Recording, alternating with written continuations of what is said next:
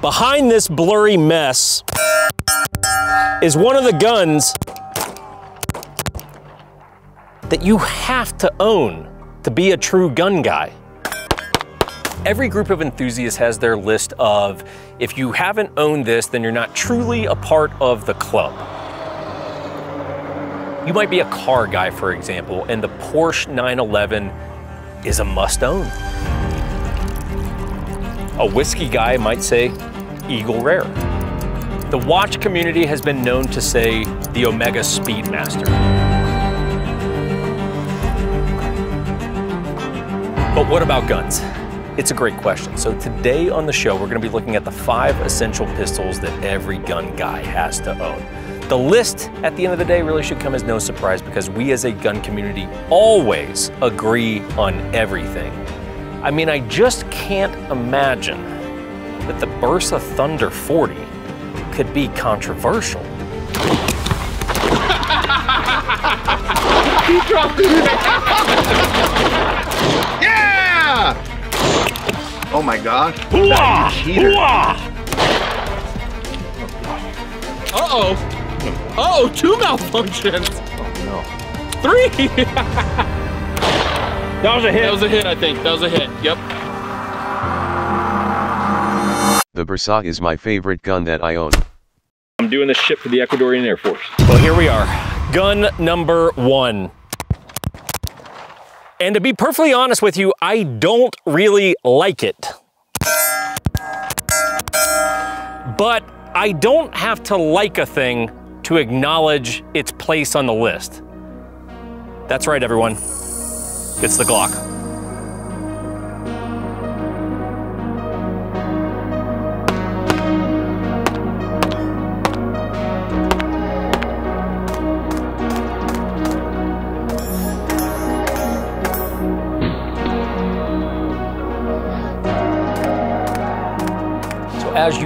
It is the 1911 Syndicate, not the Glock Syndicate, which means I am not really a Glock guy. I don't hate them. I certainly don't love them. I tolerate them.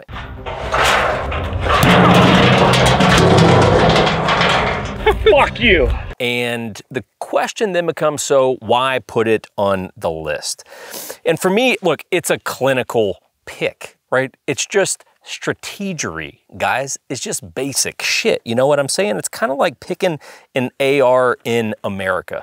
The parts are so readily available. There's so many of them in circulation. They're so easy to work on that it just kind of makes sense. It's just one of those things you got to own.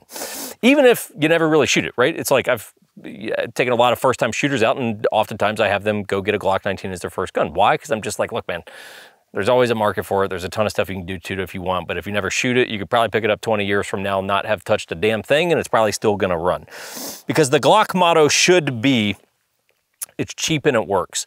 Perfection, bold motto. I, I, don't know that I would go with perfection when it comes to the Glock, but it's cheap and it works. I don't know, I'm just spitballing ideas that the Mark Glock, Glock marketing department ever watches this. Just consider, throw it on a t-shirt, see if anyone picks it up. I will order one that's 1995 from me to you, Glock Inc. Um, it's tough to kill a Glock. They simply work as we tested last year.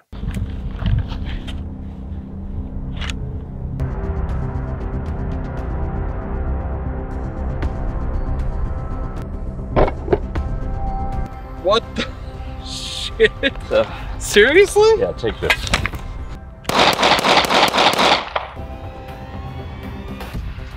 Let's let's function check. We're out. I'd be shocked if that throw is what killed this Glock. There we go.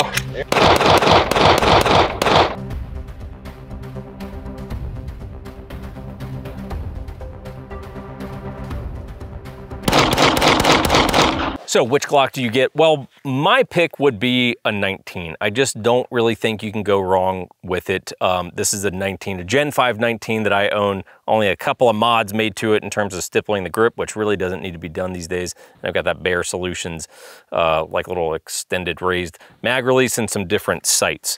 But the Glock 19 really is this kind of perfect hybrid of everything. Oh, per perfect. I can't believe I just said perfect when I'm referencing a damn Glock. Um, it is a good combination uh, of, of things on this gun that allow it to be um, a duty gun, right? You could have it as a range gun, a bedside gun. You could have it as a CCW gun. It's just kind of in this, I want to call it sweet spot, but sweet spot of like the right size and features where it can do a little bit of everything. Do I love it? No, but can I have the discipline as a shooter and a gun guy to acknowledge that it deserves its place on the list? That much I can. Guys, we'll be back with a video momentarily, but a big thank you to the sponsor of today's video. That would be Wolvyn. We'll spell it on the screen here so you can get it right. They are a watch dealer in the DFW area, specifically Plano.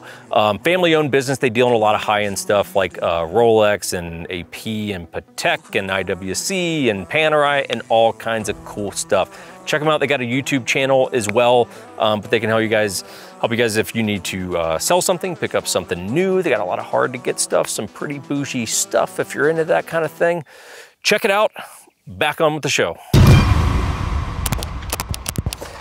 Coming from Glock, a pistol I don't particularly enjoy, let's shift over to something that I do enjoy. It's the gun that got me into guns. In many ways, my gateway gun. It's the USP.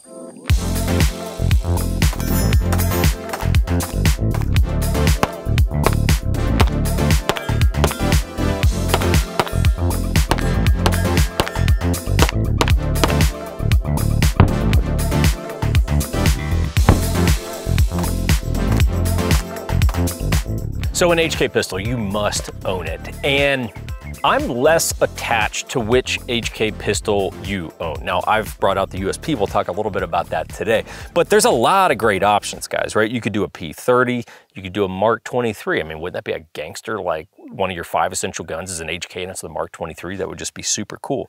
You could do a VP9, right? Uh, you could do a P7. That could be so cool. P2000 total sleeper that no one even really thinks about anymore. Even me, I've never owned a P2000, which I do need to rectify, I admit. A P9S, right? But my pick is the USP.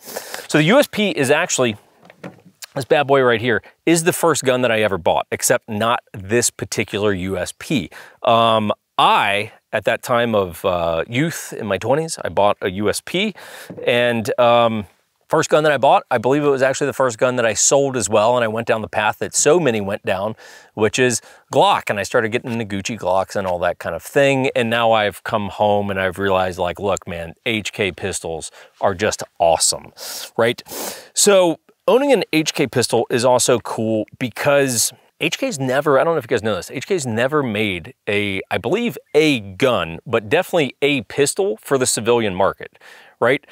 Every gun, I'm gonna call it gun, but it might might be pistol, but but every we'll call it pistol that HK has designed has been designed with professional end users in mind, aka law enforcement, military units, things like that. And that's cool, right? Because because of that, they are built like tanks. Even when I took apart the USP last night just to clean it up a little bit, throw a little oil in it before the shoot today, you're just looking at it and it's it's so rugged, it's so overbuilt and beefy inside that it just there's something about it, right? It's just a tank. And in my opinion, the USP is one of the best pistols ever designed.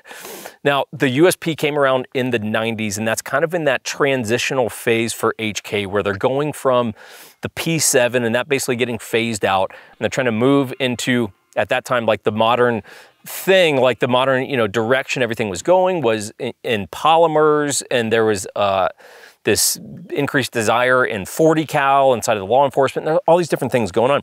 So HK comes out with the USP, Universal Self-Loading Pistol. And one of the cool things about it is it was designed to really be able to be set up for anyone. Very, very modular setup, because what you can do, this is not how this particular USP came. This came as a double to single action gun.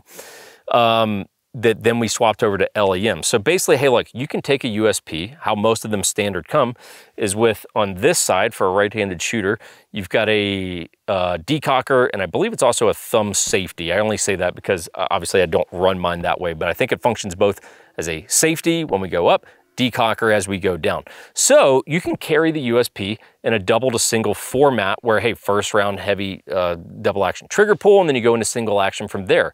But because of the, the, the joint decocker and safety, you can run this thing like a 1911, right? You could carry USP cocked and locked, right? And then come, you know, gun comes out, presenting the gun, thumb safety comes off, right? And then you rock and roll.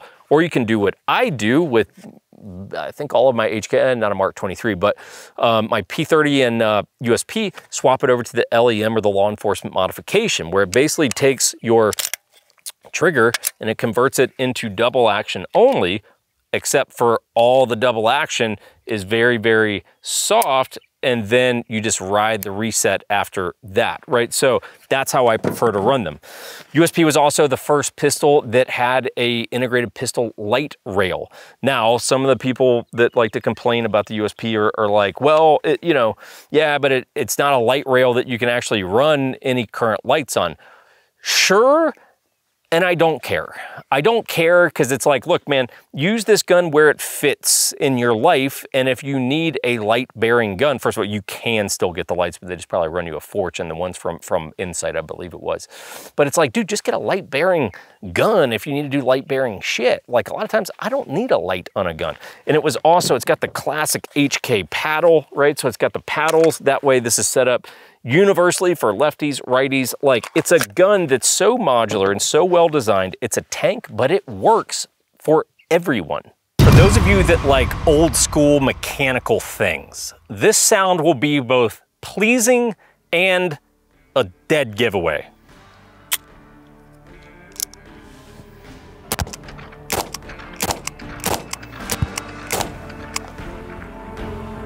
You gotta own a revolver.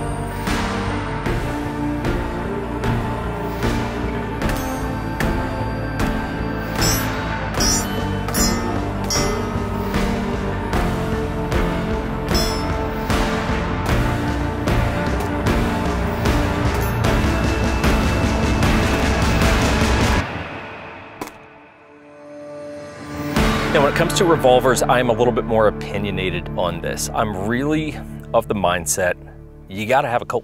Um, you just got to have a Colt revolver, right? And there's a couple different directions you can go. If you were only going to have one, I really do think you should have two revolvers. But if we can't play that game and you got to have just one, I'm like, okay, cool. You could go detective special.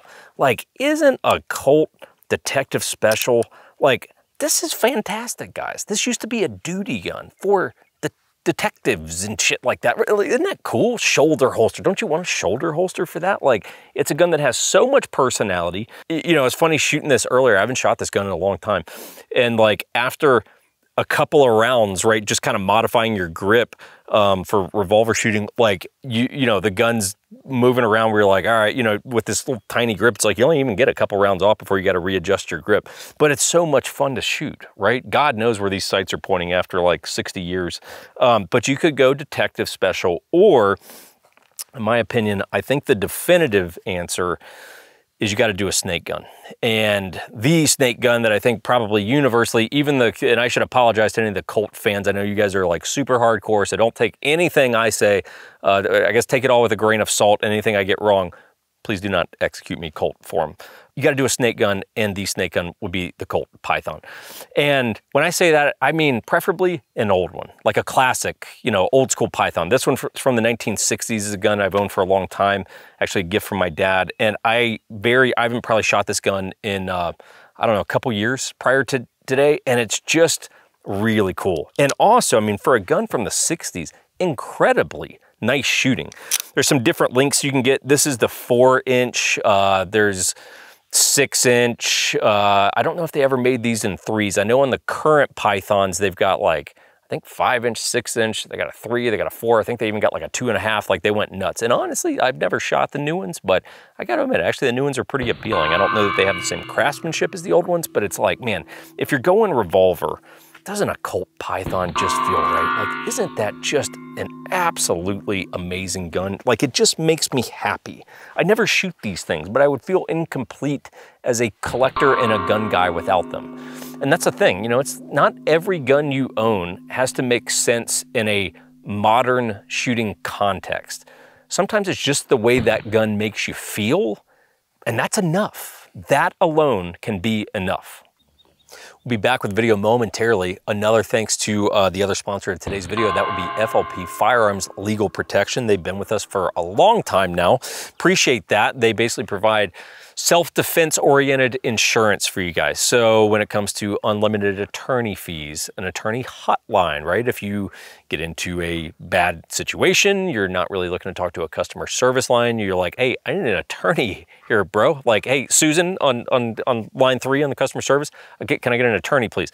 That's who picks up, not Susan. The actual attorneys who picks up when you call the hotline. You keep a little card in your wallet, um, and that's who you call. They got a few different plans, um, whether you have family, if you travel a bunch, if you stay mostly in your state. Um, so you can check that out. We've got a link below. Um, great service. Uh, me and Chris have both had it for a long time now. So again, link down below. Uh, there's a code there. You guys can save a chunk off of the different memberships. Appreciate them. And the final thank you it's not even a thank you. It's just us. We're a small business, the 1911 Syndicate. Um, hey, we're here to help you guys with real estate, um, operate largely here in uh, Utah where I live. But um, if you guys are in other parts of the country, you can uh, hit us up, and if we can help you, great. Um, if you have dogs that lean on you like this, I don't know if we can help you. We definitely can't help your dog. Your dog's just not very well trained. Um, but hey, check us out, 1911syndicate.com. We've also got the Patreon linked below. I know this is a lot of stuff hit with you guys, so let's get back on with the video. When I first came up with the idea for this video, I actually came up with the five guns reasonably quick, and much to my sadness, there was one gun on the list that I did not personally own.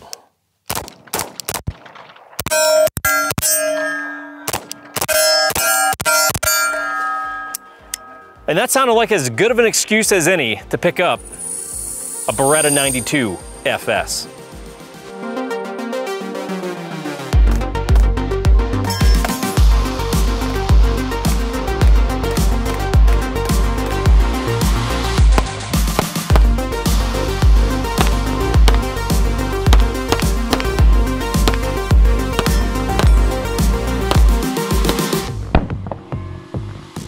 Now, I recently bought this Beretta 92 FS from the top Beretta salesman in the state of Utah. The number one Beretta salesman in the state of Utah.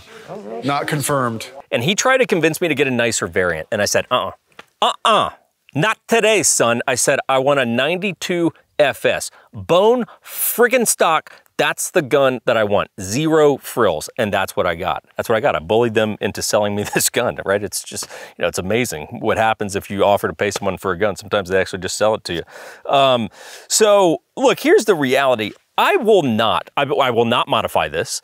I will not even truthfully shoot it that often, but there's gonna be occasions where I'm so thrilled that I have this gun. What would the occasion be? Oh, I don't know. You ever heard of a thing called Christmas?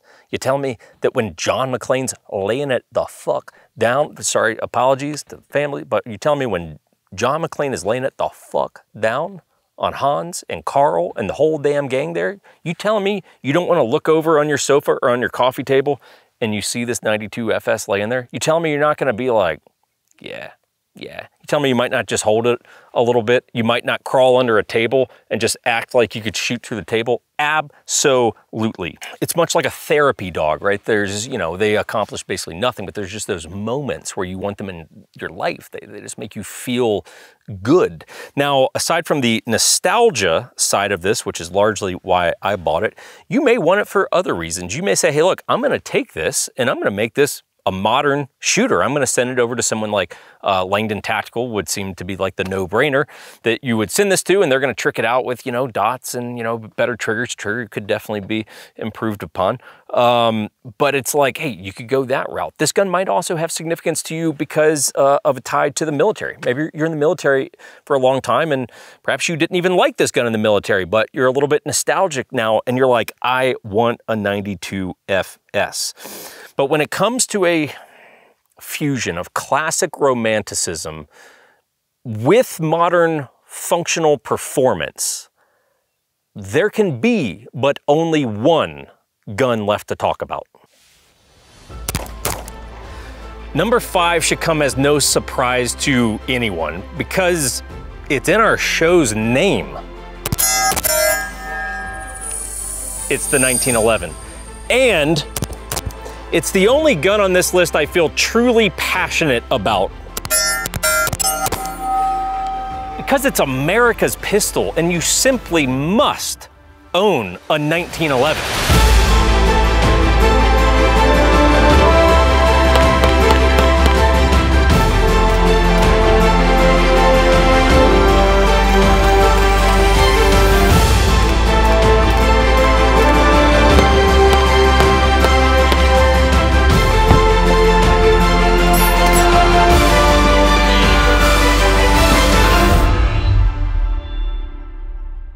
Nineteen elevens and watches have a ton in common, both from a historical perspective and a mechanical, purposeful uh, connection, but also from the lens of weight. What I mean by that is for people that are used to wearing like an Apple Watch or a G-Shock Garmin, something like that, when they pick up their first steel mechanical watch, typically on a bracelet, they almost all have the first reaction, which is they're like, wow, the weight, and they kind of hold it. It's almost like the same thing when someone picks up gold for the first time, right? And they'll have a gold ounce coin or something. They pick it up and they're like, wow, the weight of it. And there's, there's this sense of like, wow, this thing must be significant. Much in the same way that someone picks up a Glock, right, which is largely a plastic gun, and you're like, okay, yeah, you know, reasonably feels like a toy. And then you pick up this five inch railed 1911 and you're like, that's a gun. That right there is a gun. Now, I'm not loyal to which particular 1911 you should own. I think that that's a personal choice, and there are so many great options out there. A lot of it depends on your uh, budget and your purpose behind it and all kinds of different things. So pick whatever makes you happy at the end of the day. I brought you a couple of uh, models and references here that have a little bit of sentimental value to me. Um, so I'll just show you those briefly. So this is the Cabot Nero. The reason this uh, gun means something to me is Cabot was the first company that ever gave me a chance. Um, it was brand new. We had just started doing gun content. I mean, we were maybe like a month, two in, uh, something like that. And you know, and I was a customer of theirs, uh, an existing customer on a gun that I own, and they were nice enough to just loan me some guns that, that we could do videos on. And the videos were probably horrible. I don't even think I could bring myself to watch those videos because they were probably just so underprepared that I don't even know if I could stomach watching our old content. But, you know, I, I, I got this Nero from them, you know, at the end of doing some, some videos and everything. And it was just like, hey, that's the first company that took a chance on me. And this is, you know, this is the thing that I sort of have to commemorate that. The other gun that I brought out is my Wilson Protector 2, Wilson Combat. And um, the Protector for me is kind of a cool gun because Wilson wasn't the first company that gave me an opportunity, but they were, pro I, I believe they were the first company where I had zero connection. I was just a dude that reached out to them and said, hey, we're the 1911 Syndicate. I love 1911s, uh, and I'm probably very brand new and raw at this. I probably left that out of the email and just said, hey, I'd love to do a review on a gun. And they, uh, they let me do a review on this gun, and then at the end of it, they offered to let me buy it, you know, for a favorable price. It was a used gun, and I was like, for real? And uh, and I bought it. You know, so for me, this does have some personal significance of like, hey, this is the first gun that I ever bought after we started doing reviews. And Wilson Combat knew nothing about me and said, sure, sure, kid, we'll give you a shot. I would also tell you, look, don't get blinded by I, am aware these are a couple of expensive guns, and don't get blinded by that. Owning a 1911 is not some like rich guy's game or something like that. It's like, look, man, there is a full spectrum here. Like it's a game for people that love guns and love America. That's who the 1911 is for. And here's how I know you guys agree with me about the 1911 to date. We've never had a viral video, something I consider a blessing in many ways. But our most viewed video to date is still a video called Why 1911s. And I made that video um, with the expectation that no one would watch it. It was like, hey, look, I love 1911s and I would love to try to make some sort of video to convey to people why I think they're, they're interesting and significant in the confines of the country that we live in. And so we made this Why 1911 video that still gets views and I still see comments pop in all the time of grown men saying, hey, I, I cried watching this video. And instead of me trying to come here and litigate the case for 1911s and everything, we're just gonna end with a little bit of footage from that video. So roll tape. Now his next point has to do with what he refers to as mechanical purity, and I found this to be such a well-made argument. Rob says to understand 1911s requires an appreciation of mechanical construction. The 1911 style pistol design requires very precise hand fitting by craftsmen in order to perform with great accuracy and reliability. Modern pistols, such as your big box polymer brands, were designed with modern manufacturing standards in mind where components can be easily mass produced with low cost methods and then simply assembled by virtually anyone and generally speaking, they will work. There's no real craft to it aside from a functionally engineered mechanism. Not all folks appreciate how an object is made. Some will look at a Casio G-Shock digital watch and say it tells them time, and very well at that. And therefore there's no reason to spend more than $41.95 on a watch. Others appreciate a finely crafted, complex mechanical watch where the art of watchmaking involves highly skilled movements to interface very precisely and with great complexity to function correctly. Both the digital watch and the mechanical watch will tell time, but how they get there and the effort and human time and skill in each is distinct. A well-made 1911 is mechanical art in the form of a handgun. The physical beauty of the gun. A design that has looked good for a hundred years will still look good in another hundred years. Elegant flowing lines, artful function, and timeless beauty. It will continue to be valued. The 2011 will be valued by no one in another century. And Rob's point that I found so beautiful, it's the fucking hero weapon. Beyond a firearm, the 1911 is the archetype of handguns, the weapon for the hero, and the American experience of greatness. The hero in literature is the one that adventures off to confront the unknown and returns the victor, and this is the case of the 1911 in its use in World Wars I and II.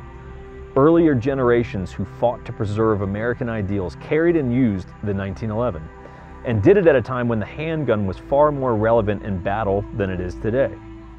Light, easy to handle, effective. The handgun is the ideal weapon for both defensive and offensive close quarter man to man combat fights. We stand on the shoulders of our forefathers, and the connection we can still experience is, in effect, the same weapon that served. When you hold the 1911, you hold the hero's weapon where America prevailed in the confrontation of evil in the Great Wars. It's a tangible connection to our past, which forges the identity of who we are. Now, as stated, I've got my own reasons why I still believe that 1911s hold this incredible place for any gun owner. And I know, look, I can never win this argument with you based on reason and logic. For me, it's an argument that's far more centered around an emotional argument. See, 1911s for me, it's, it's the gun for people who have a little bit of old school in them. I equate it to, look, two cars can pull up to the stoplight. You might have a new McLaren and a 69 Charger. And as cool as that new McLaren is, you know which car is classier and which one's gonna get infinite more eyeballs. People are gonna take their photo with that 69 Charger. It's the same thing with knives. As I've been getting into knives lately, there's something, while I appreciate the modern mechanical knives that are laser cut and all that jazz, I mean, there's something cool about it, but I'm telling you, the experience of going and participating in forging a knife from nothing, taking blank steel and making it into something, and within that, there's imperfections and there's personality in it. There's something about that that if you don't understand it, I don't know that I can make you understand it. See, for me, when I see 1911s, I just don't see a gun. I see something that is this living, breathing thing.